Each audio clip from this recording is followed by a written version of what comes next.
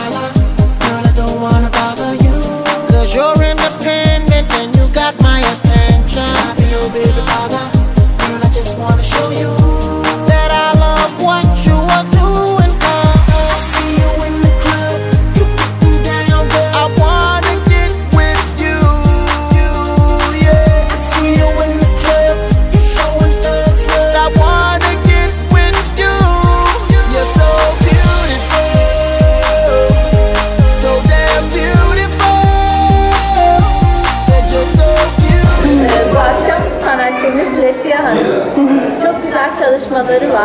Özellikle kendine has özel bir tarzı var. Kartonla çalışıyor. Ee, ayrıca de bu yıl 2010 İstanbul'un e, kültür başkenti seçildiği için konu itibariyle de çok güzel bir konusu var.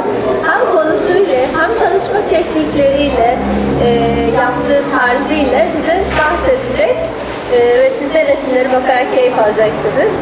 Bize anlatır mısın Lesia? Oo, tabii ki anlatırım. Yani bu benim çalışmalarım ve benim uygulandığım tarzım. Ee, kartondan resim yapıyorum. Aslı, aynı zamanda bu e, e, ekolojik bir davranış. Çevreye böyle biraz destek veren bir teknik. Ee, yani İstanbul'da yaşadığım için bu şehirden ilham alıyorum ve mm, benim e, çalışma konuları da İstanbul oluyor. İşte. Çok güzel. Kendine özel bir tarzın var. Herkeste olmayan bir tarz. Kolaj ve karton. Kartonaj. Ben onu kartonaj ismini koydum. Karton ve kolaj arasında bir şey. Ee, yani çünkü dünyada biliyorsunuz dekolaj da var, kolaj da var. Şimdi böyle bir kartonaj var.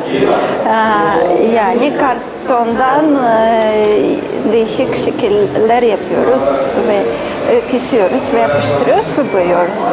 Aha. Çok güzel. Başka anlatmak istediğin şey var mı?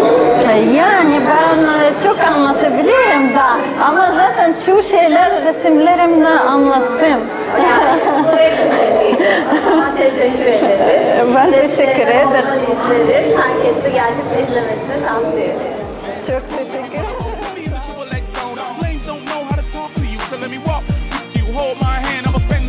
But after you undress, not like a hooker, but more like a princess, queen, empress, president, pull any way you go on earth, cause you're beautiful.